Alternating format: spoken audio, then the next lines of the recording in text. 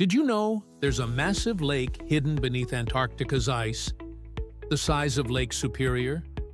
Yeah, it's called Lake Vostok, and it's been sealed under more than two miles of ice for at least 15 million years, completely cut off from sunlight, wind, and the rest of the planet. Scientists drilled through the ice and discovered something incredible.